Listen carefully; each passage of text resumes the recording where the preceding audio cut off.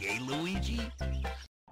If there's something any of y'all wanted to do before you, well, died, now would be a good time.